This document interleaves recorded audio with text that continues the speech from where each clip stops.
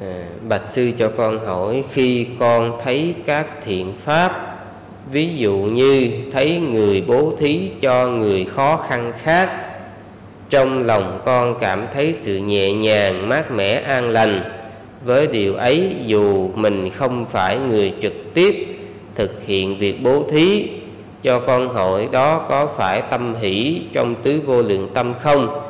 Nếu có thì cho con hỏi cách để mình phát triển tâm hỷ này. À. thì xin thưa nó thuộc về cái tùy hỷ à, mà tùy hỷ nó cũng thuộc về bốn vô lượng tâm. Như vậy làm sao để phát triển cái tùy hỷ này?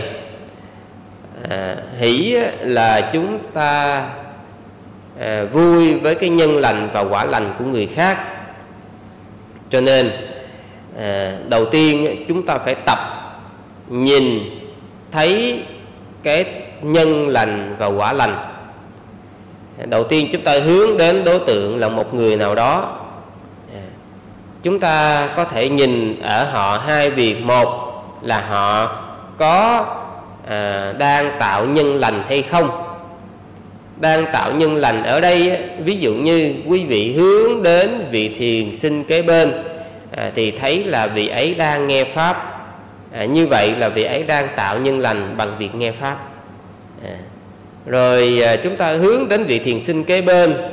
Chúng ta thấy vị thiền sinh đó đang hành thiền. Thì chúng ta thấy là à, vị ấy đang tạo nhân lành là hành thiền. À, chúng ta hướng về vị thiền sinh chúng ta thấy vị thiền sinh đó à, đang bố thí cúng dường. Thì chúng ta thấy là họ đang tạo nhân lành thông qua việc bố thí cúng dường khi chúng ta thấy nhân lành rồi chúng ta sanh lòng à, tùy hỷ hoan hỷ với điều lành mà họ làm.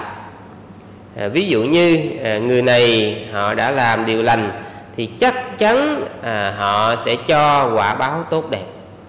À, thì như vậy chúng ta thúc đẩy cái sự vui mừng sự tùy hỷ như là một người mẹ à, nhìn thấy con của mình à, đạt được những thắng lợi ở trong đời sống.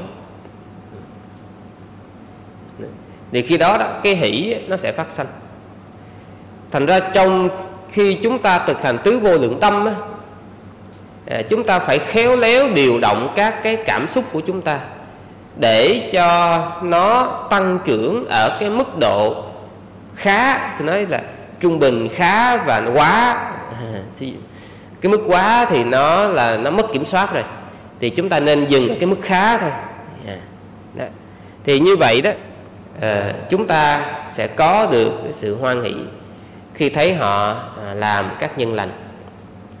Còn quả lành là như thế nào? Là chúng ta hướng đến đối tượng. Ví dụ như vị thiền sinh kế bên à, chúng ta thấy họ có những quả lành nào? Ví dụ như à, họ có sắc đẹp. À, thì biết à đây là cái quả lành. À, nhờ hồi xưa cũng có tu tập công đức. À, à, có à, à, làm cái phước là không nóng giận hoặc là cái phước bố thí vân vân.